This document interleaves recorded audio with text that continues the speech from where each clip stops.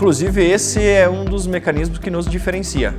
É uma associação, então você associa teu carro e a parcela ela é mensal. Por isso ela se torna uma parcela bem menor.